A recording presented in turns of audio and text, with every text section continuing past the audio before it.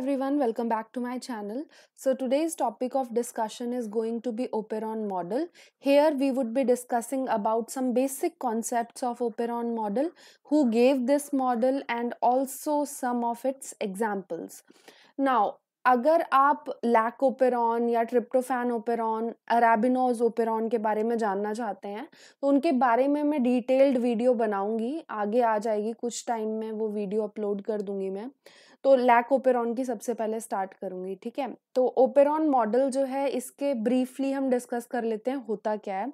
तो operon model जो है, ये मेनली किसमें पाया जाता है? सबसे पहले ये देखते हैं। तो prokaryotes are the organisms which are known to have operon model उनमें ओपेरॉन प्रेजेंट होता है मेनली प्रोकैरियोट्स में, ठीक है? यूकैरियोट्स में ये मॉडल नहीं होता है।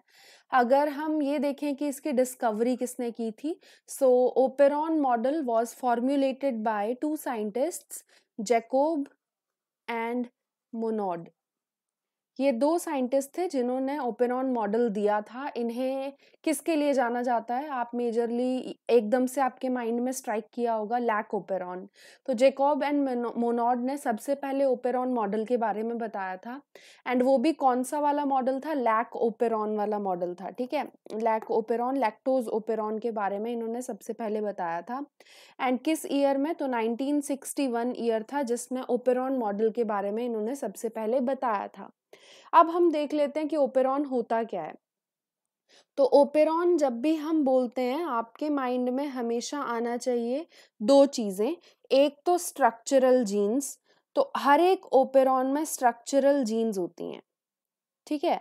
ये स्ट्रक्चरल जीन्स हैं which are responsible for the production of certain enzymes which help in the metabolism of a particular substance जैसे लैकोपेरॉन जो है वो लैक्टोज की मेटाबॉलिज्म के लिए है।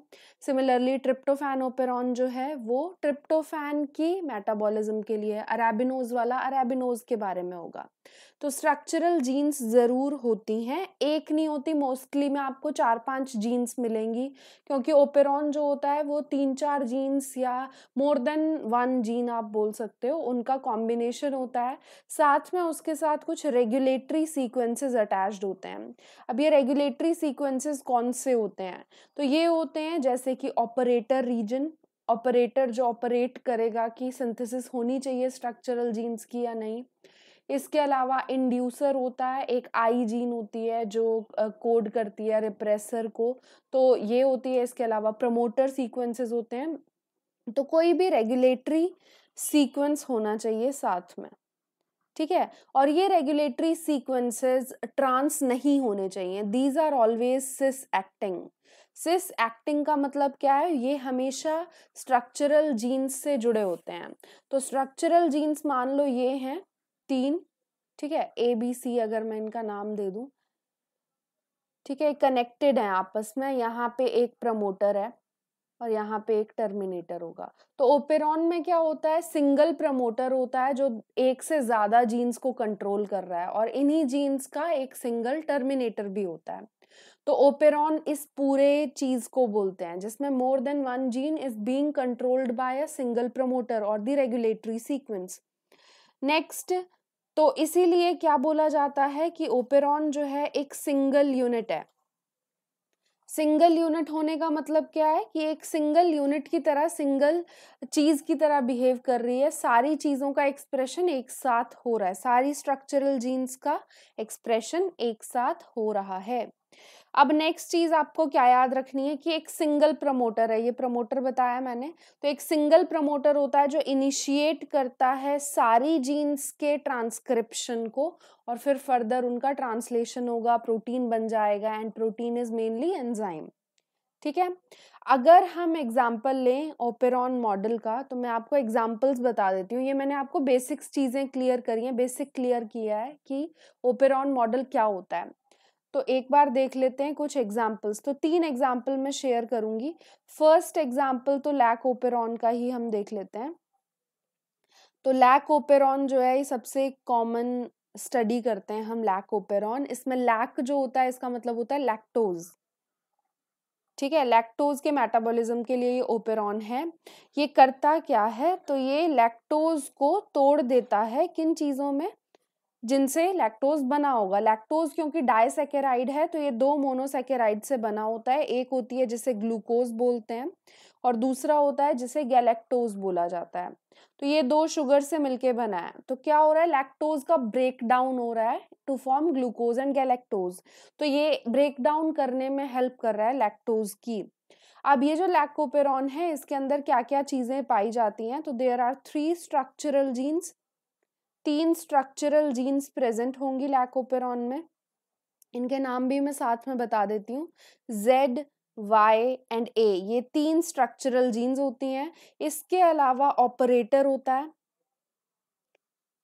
ठीक है? ऑपरेटर रीजन प्रेजेंट होता है। ऑपरेटर के अलावा प्रमोटर रीजन प्रेजेंट होता है। ये मेजर रीजन्स हैं जो लैक ओपेरॉन में आपको मिलेंगे। समझ आया? तो ये लैक ओपेरॉन की बात आई, अब सेकेंड एग्ज़ाम्पल देख लेते हैं। तो सेकेंड एग्ज़ाम्पल मैं आपके साथ डिस्कस करने वाली हूँ ट्रिप्टोफैन ओपेरॉन अभी आप देखोगे, मैं सिर्फ़ ब्रीफली आपको बता रही हूँ कि क्या क्या चीज़ें होती हैं, क्योंकि इनके बारे में डिटेल में हम आगे आने वाली वीडियोस में पढ़ने वाले हैं। सबसे पहले लैक ओपेरॉन से ही शुरू करेंगे हम आने वाली वीडियोज़ में। तो ट्रिप्टोफैन ओपेरॉन देख लेते हैं, इसे टी आर वाई लिखते हैं शॉर्ट में जैसे लैक्टोज के लिए लैक लिख रहे थे। वैसे ही ट्रिप्टोफैन के लिए टी आर वाई लिखते टी आर पी लिखते हैं सॉरी टी आर पी इसे टी आर पी कर देते हैं।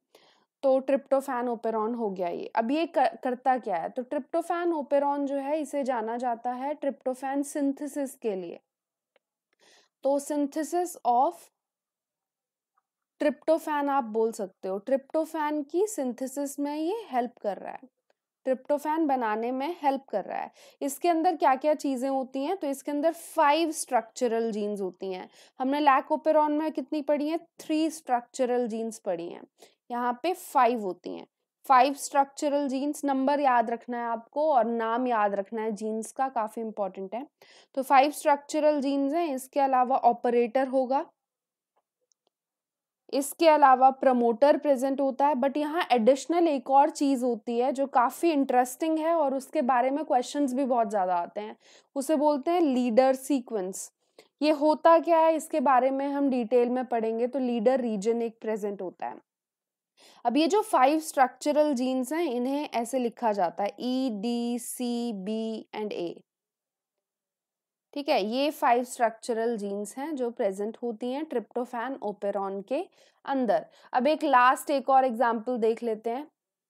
तो थर्ड एग्ज़ाम्पल है अरेबिनोज ओपेरॉन अरेबिनोज वाला आपको पाथफाइंडर वगैरह की बुक में नहीं मिलेगा, लेकिन अगर आप पढ़ना चाहते हो तो मैं आपको और तरीके से पढ़ा दूँगी। बट नेट के पॉइंट ऑफ़ व्यू से एज सच इंपॉर्टेंट नहीं है। जनरल नॉलेज के लिए पढ़ना चाहते हो तो पढ़ा दूँगी। तो अरेबिनोज ओपेरॉन जो होता है, ये अरेबिनोज जो होती है शुगर होती है एक टाइप की तो उसके मेटाबॉलिज्म में हेल्प करता है। इसके अंदर क्या होता है? तो इसके अंदर थ्री स्ट्रक्चरल जीन्स होती हैं।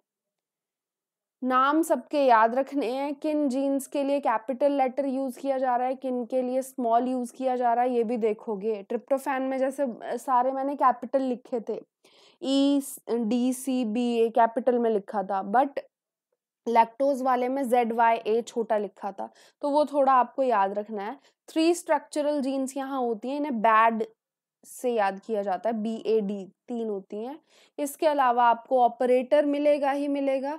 ऑपरेटर तो हर किसी में चाहिए और प्रमोटर भी हर किसी में चाहिए, वरना ट्रांसक्रिप्शन होगा कैसे? ठीक है? तो ये कुछ बेसिक मैंने ओपेरॉन मॉडल के बारे में आपको बताया और तीन एग्ज़ाम्पल भी डिस्कस किए हैं। हर एक एग्ज़ाम्पल को डिटेल में हम पढ़ने वाले हैं। लैक ओपेरॉन के बारे में नेक्स्ट वीडियो होने वाली है। तो stay tuned and thank you so much आप इतने टाइम तक मेरे साथ बने हुए हो। ठीक है? Thank you so much